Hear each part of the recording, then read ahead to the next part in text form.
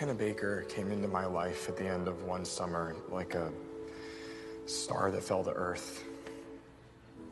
Like nothing I had seen, like no one I'd ever met.